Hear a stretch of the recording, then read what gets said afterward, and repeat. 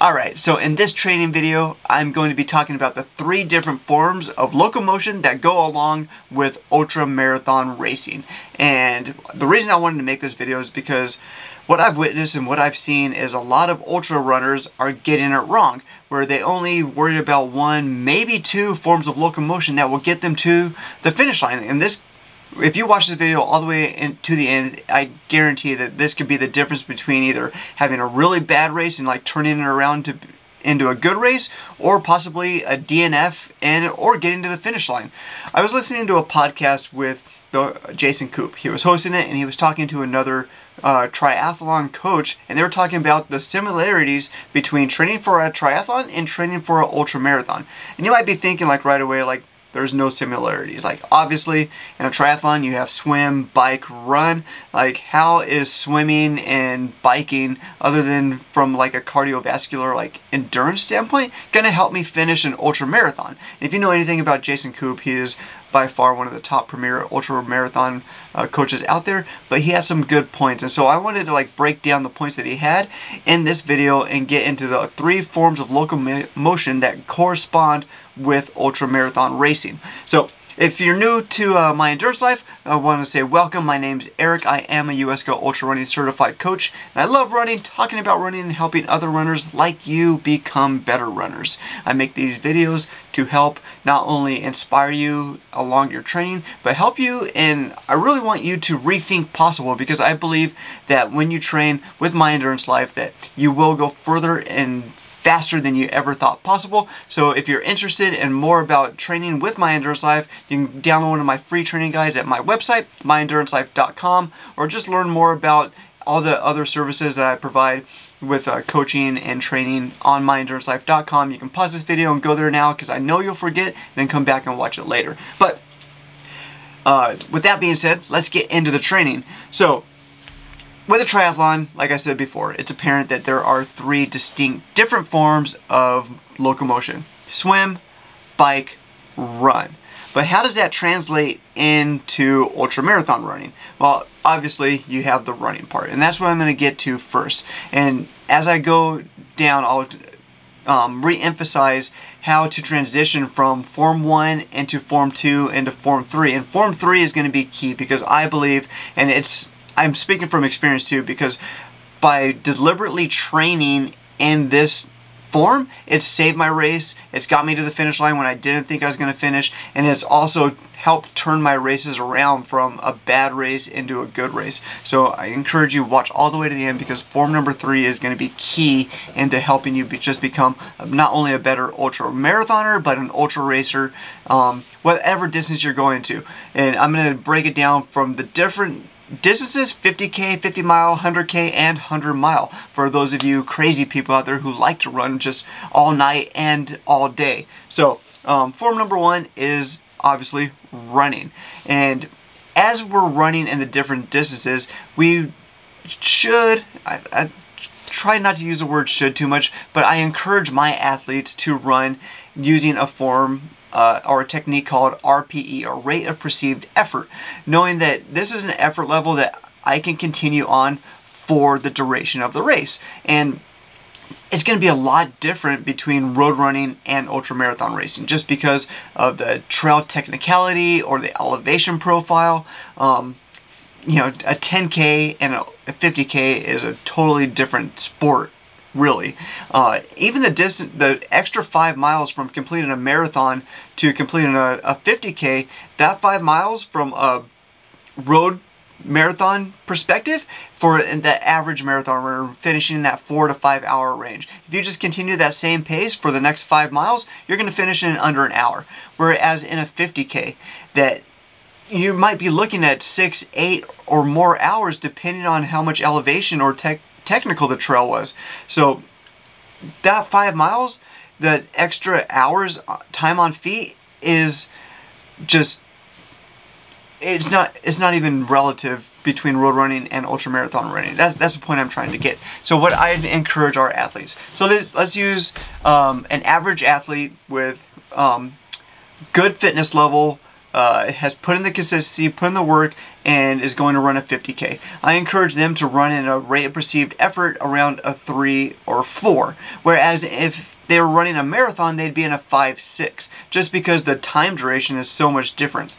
You know, a 4 to 5 hour finish or a 6 to 8 hour finish. That extra time, you you need to slow down to be able to not only preserve your energy, but also take in the required fuel and hydration to get you to the finish line.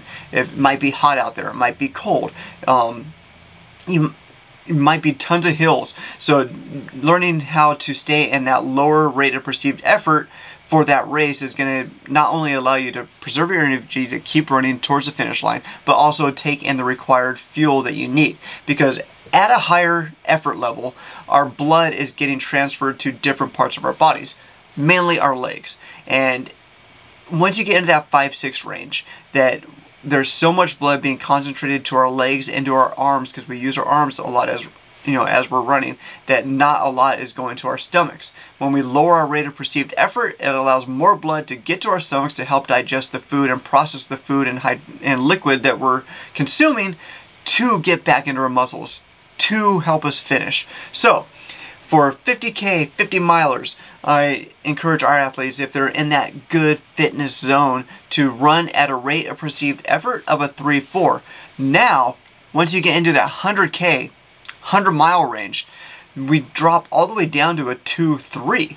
And a 2-3 is like that forever pace where I can just keep going and going and going because 100K, 100 miler, that's what you're doing. You're running all day, and into the night and then through the night if you're doing those 100 milers. So by lowering our rate of perceived effort even lower, not only can we continue at that effort level for a long, long, long, long time, but it's also easier to take in our nutrition, drink our liquids, stay um, cognitive, remember that we have to do this stuff, and be able to like talk to our crew or aid station workers when we get there because we're not so exhausted.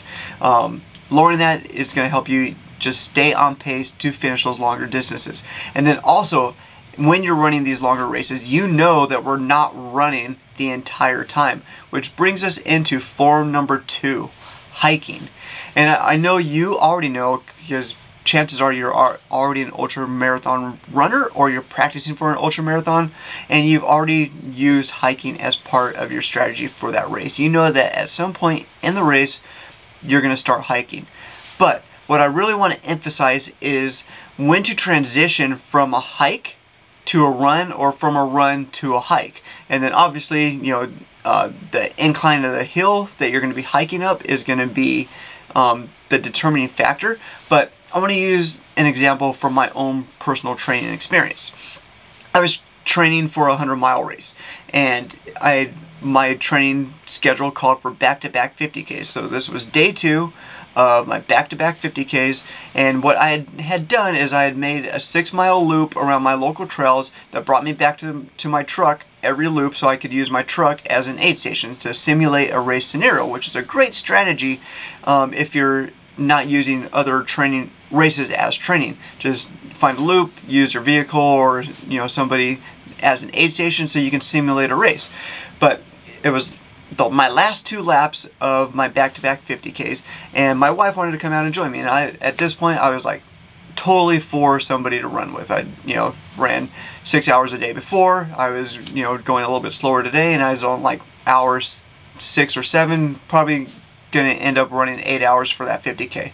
And then so my wife joined me, and I was jogging up this particular hill that I had jogged all day yesterday, all day, you know, today and I'm just, you know, chopping it up, going up it, and I look back at my wife and she's hiking next to me, carrying on conversation, easier than I was jogging. So that's when I was like, man, like, even though I can run this hill, I probably shouldn't because it's making me tired er than if I was hiking. And she's having a lot better time hiking up it than I am running. So it's not only good from a nutritional um, strength, like uh, maintaining your energy levels, but maybe also it can help you just like from a mental capacity, like, okay, I can hike this, I'm looking forward to a hike, instead of running and that will encourage you just to hike the hills instead of run the hills even though you can um, especially for those longer distances 100k and 100 mile. And then for those 100 mile people 100k even when we start getting into the night like oftentimes when people are in that death march where it's just like just willpower keeping them going that I believe that if we use this third form, which I believe is the most important form to train in because nobody does it. Nobody deliberately trains in this third form. They fall back to a, they fall back to it as a last resort, which is walking. And there's a difference between walking, hike, and hiking. We obviously we hike up a hill that you know we can use our poles uh, and we can hike up a hill. But walking is on those flat or downhills and strategically and deliberately training on how to walk with a purpose, keeping our elbows up and like looking like those Olympians, you know, trying to walk as fast as we can. We can get really good at walking, which is not only going to save our race because walking with a purpose is going to save us from that dreaded death march. You know, when people are just like slugging along or taking dirt naps. You've seen them if you've ever done a 100 mile. Those people who are just like everything it's taking everything they got to keep moving moving forward but what I've done and what I encourage my athletes to do is walk with a purpose during the day work in using four ones deliberately strategically during the day where you map out a section of course that's flat.